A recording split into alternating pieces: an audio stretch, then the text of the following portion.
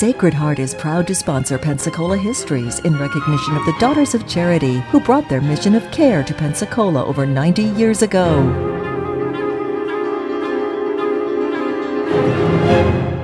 Hello and welcome to our continuing story of Pensacola, North America's first place city. And today we, we continue the story of great lumbering era, which began in Pensacola effectively about 1870 and would be a part of our economic uh, life here for half a century.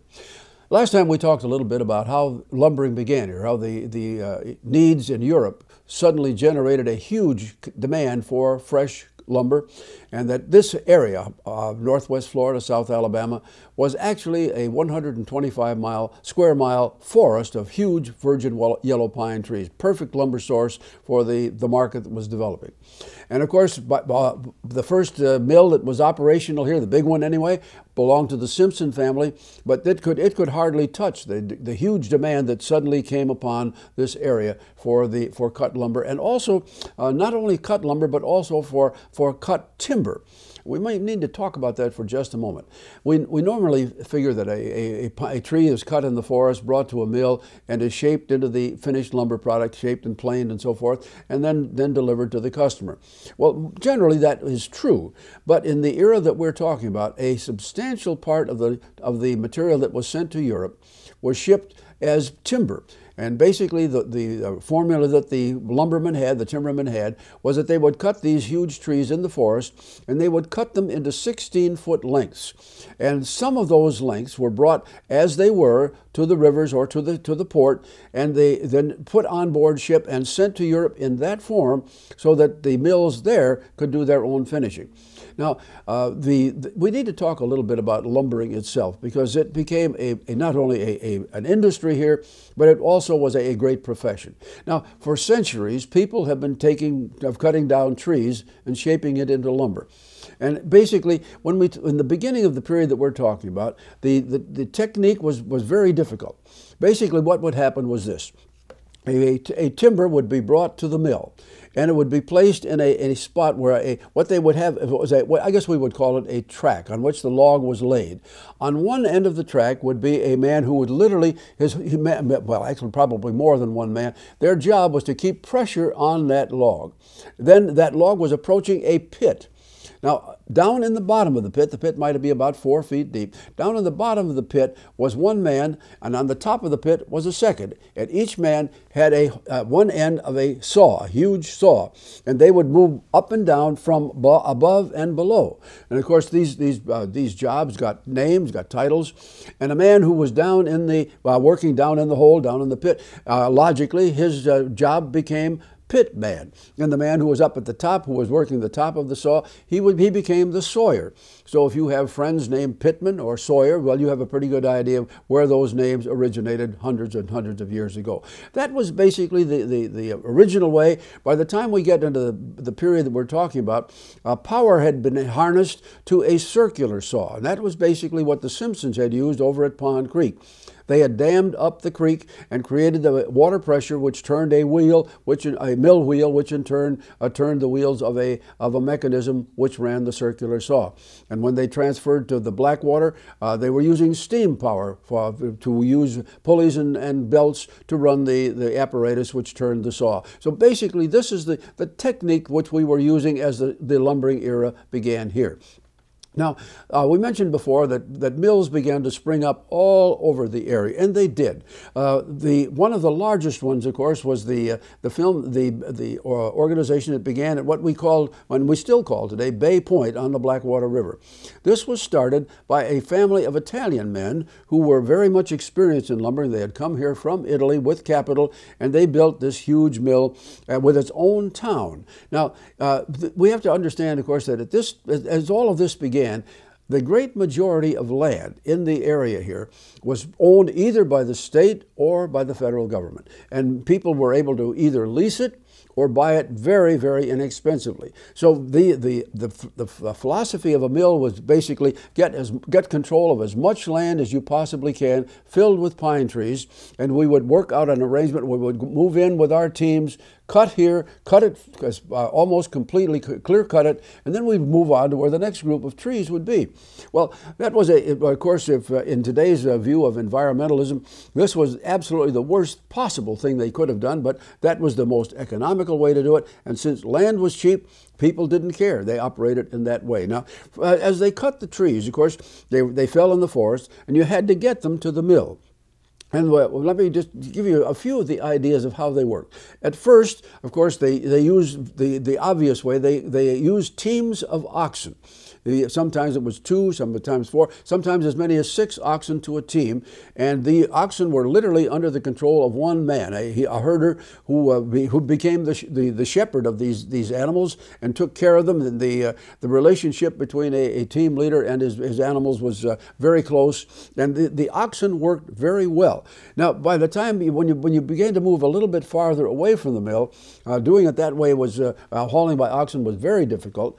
And so the, the, the next choice that the mills had was to locate timber along streams so that they would be able to cut the timber, maybe use the oxen to carry it from the fell site to the water itself, and then float the timber down the stream to a river such as the Escambia or the Blackwater, float, then float the timber down that way to the mill or to a place where some form of transport such as a, a tugboat could pick it up and carry it. Uh, the the, the, the uh, stream worked fine. Now, after a time, of course, you ran out of streams. Most places, most woods didn't have a, a, superabundance of them. So they developed another way of doing something, which was called a flume. Now, a flume basically was a, a trough that was dug perhaps four or five feet deep. And then it was lined with boards, and they would be supplied with water, usually from a spring. And they would collect water, they would sort of dam it up at one point, put the cut logs in the flume, open the dam, and then the logs would flow down the, uh, down the flume to a stream, from the stream to the river and so forth, repeating the process. And all of that was the way things were done pretty much up until the latter part of the 1880s. And at that point in time, it was possible to begin what we today call logging railroads. This was a time when the, uh, the commercial railroads, of course, were expanding their, uh, their equipment to getting larger and more powerful engines, locomotives, and they were willing to sell the smaller, older ones to the, uh, to the lumbering people. But they, obviously, the need was so great that several of the great uh, locomotive builders, such as Baldwin, uh, began to make a specialty type of engine. It was smaller, uh, powerful, just the perfect thing for use in the, in the forest. And and so a, a uh, lumbering company would operate a logging railroad more or less this way. They would have a line that would run, let's say, from the lumber mill to site number one, where they would run the track there. The railroad would operate from a point A to point B. Now we've run out of timber there, so now they they tear up the track and move it to point C over here. They, so that now they can cut, load the tree, the timbers on the cars and carry from there, and they could they literally move the the railroad all over. And some of these railroads became very very large. For example, the the Simpson Railroad at its height had over 200 miles of track running back and forth the various places where they could carry timber from the cutting site into the mill. And the, many of the others, uh, such as T.R. Miller and the Southern States Lumber Company, also had huge railroad systems, so large uh, that at times they would be able to work out systems uh, allied with the commercial railroad, such as the L&N, so that the, the logging railroad would have permission upon a proper schedule to run their trains over the, uh, the regular system of the commercial line. It was, it was that complex. At one time or another, over the, the story, the history of logging railroads, the state of Alabama alone had over 300 different companies that had a logging railroad. Now, some of them were small, some large, and the logging railroads continued to be used effectively up until about 1940. At that time, of course, uh, modern, modern technology and, and, motor trucks came along, and that, that was when the, the truck gradually replaced the, uh, the idea of the, uh, of the railroad. Now, of course, the next thing we had to do, of course, was, was to take care of how we're going to move the timber away from Pensacola or the, or the lumbering era, area here to Europe. That, of course, had to be done by deep sea vessels and by uh, a mechanism that just sort of evolved uh, naturally, I guess. We, the, the lumbering people were very fortunate that at the time all of this began, in 1870, a number of the Scandinavian countries had an excess of shipping. These were sailing vessels, uh, four to five hundred tons, uh, that would, uh, on contract, would come to Pensacola. They would they would sail in ballast, uh, come here, dump the ballast rock here, pick up their cargo of lumber and take it back to whatever port had uh, uh, to accommodate the, the customer there.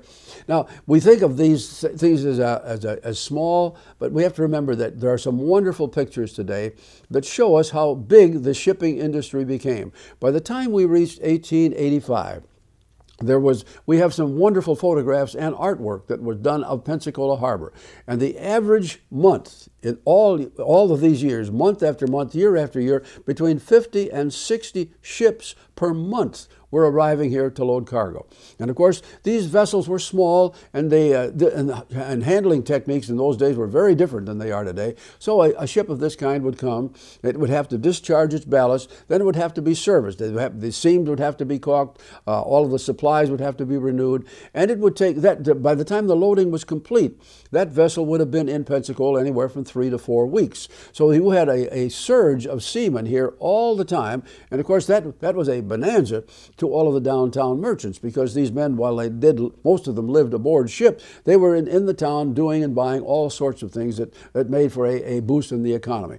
Uh, at this point in time, just as an example, we had uh, we had a, a, major change in the, uh, the the idea of where people would stay when they came to Penn, whether they were seamen or, or people in the lumbering business itself. Uh, we had first of all, by the time you got to 1885, there were more than 50 boarding houses in Pensacola that would take care of people for overnight or for a week or a month. Uh, this this is one of those places where you got your your room and your board in one package, and then, of course they were very inexpensive by our standards today. And by the time we reached the 1870s the first of the true hotels began to be formed here in Pensacola, and they, this, of course, uh, developed into a, another industry in its own. By the time we got to the late 1880s, very nice hotels with uh, very fine dining rooms, of course, were gracing the downtown area, and things were just, oh, they were, the, the whole idea of it was, was just improving greatly. Now, you've got this whole waterfront area that begins to, to develop as a service to shipping.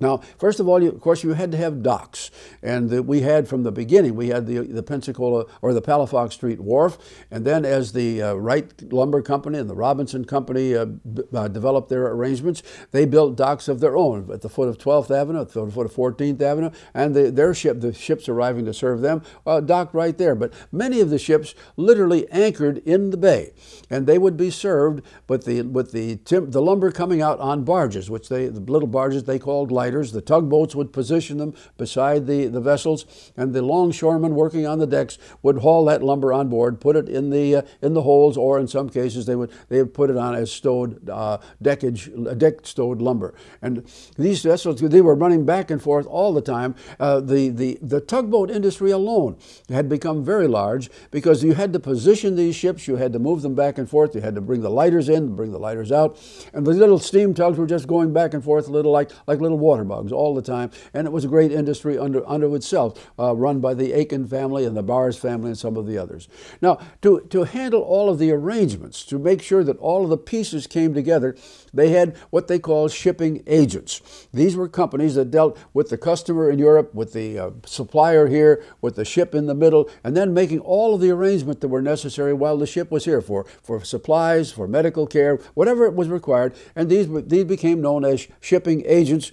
There were several, there were great, a substantial number of them, but the largest number, largest one of all was owned by a man named Henry Baars. Now, Henry Baars was a, a unique man, had come here at age, had come to the United States at age 16. He had served in the Confederate Army and had worked for a, uh, a, a, a similar agency in Savannah, Georgia, and came to Pensacola in 1870 with his young wife uh, and settled in. And by the time he was uh, uh, at the end of his career, his company was serving 65 different mills mills taking care of their lumber exports, and they were shipping lumber not just to Europe, but to also to four other continents. Baars became a huge part of the economic industry here, and we'll be talking about him again when we cover some of the other areas of Pensacola, uh, our history, in other episodes.